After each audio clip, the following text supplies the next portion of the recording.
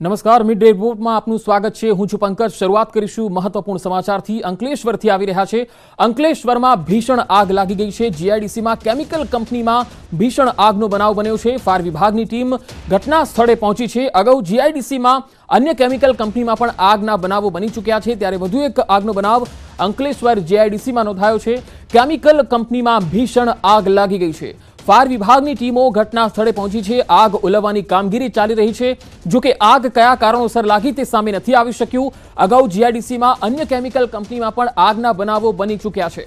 જે તસવીરો આવી રહી છે તે આપ જોઈ શકો છો કે અત્યારે ફાયર બ્રિગેડની ટીમ આગ બુઝાવવા માટેના પ્રયત્નો કરી રહી છે. અલગ અલગ ટીમો અહીંયા પહોંચી છે કારણ કે આગ ધીરે ધીરે વિકરાળ બનતી જઈ રહી છે.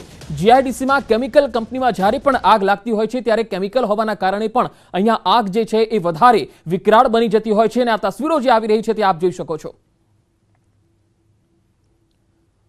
વધુ માહિતી સાથે સંવાદદાતા દીપક મારી સાથે જોડાયા છે. દીપક અંકલેશ્વરમાં જે જીઆઈડીસી કેમિકલ કંપનીમાં ભીષણ આગનો બનાવ બન્યો છે. હાલ પરિસ્થિતિ શું છે? કેટલે અંશે કાબુ મેળવી શકાયો છે?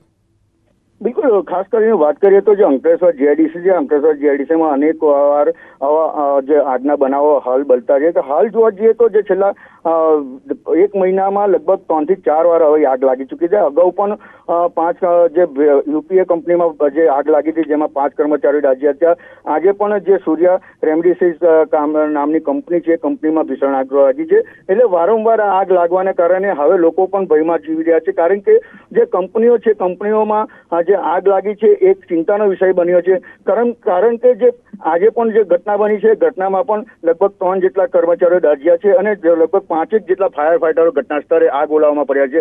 ત્યાં કહી શકાય કે જે ભીષણ આગ છે કાબુ લેવા માટે પણ મુશ્કેલી બની છે. હાલ જોવા જઈએ તો અંકલેશ્વર જીઆઈડીસીમાં ફરી વાર એકવાર આ આગ લાગવાના ઘટનાને લઈ ચિંતાનો વિષય બન્યો છે. જી, દીપક, આભાર માહિતી આપવા માટે.